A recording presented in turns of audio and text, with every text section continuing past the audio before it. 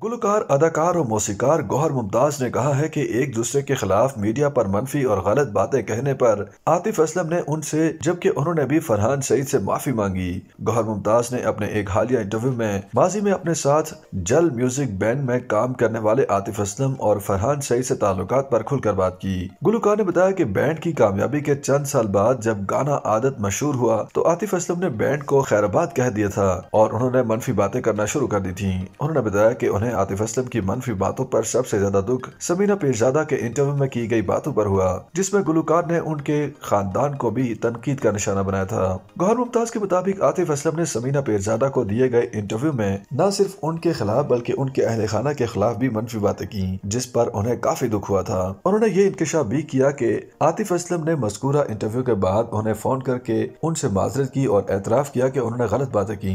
गौहर मुमताज़ ने कहा कि आतिफ असलम ने उन्हें बताया कि समीना पीरजादा ने उनसे इस तरह सवाल किया कि वो बातों का ख्याल ही न रख सके और कुछ मनफी बातें भी कह गए, जिस पर वो उनसे माजरत खाए। उनका कहना था कि आतिफ असलम से पहले उनके अच्छे ताल्लुक थे और अब भी उनके दरमियान अच्छे रवाबित हैं। उनके दरमियान जो गलत फहमी पैदा हुई थी, वो आतिफ असलम की माजरत से खत्म हो गई। इसी प्रोग्राम में गौर मुमताज़ ने यह भी एतराफ किया कि उन्होंने भी मनफी बातें कहने पर फरहान सईद से माजरत की।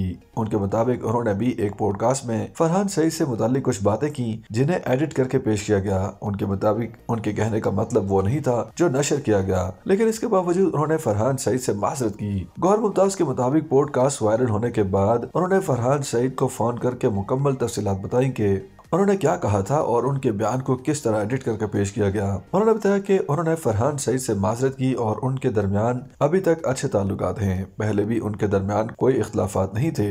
एक और सवाल के जवाब में गौर मुमताज़ ने इस तासर को मुस्तरद किया कि अब वो और फरहान सईद या फिर आतिफ असलम मिलकर अपने म्यूज़िक बैंड जल को मुतहरिक नहीं कर सकते।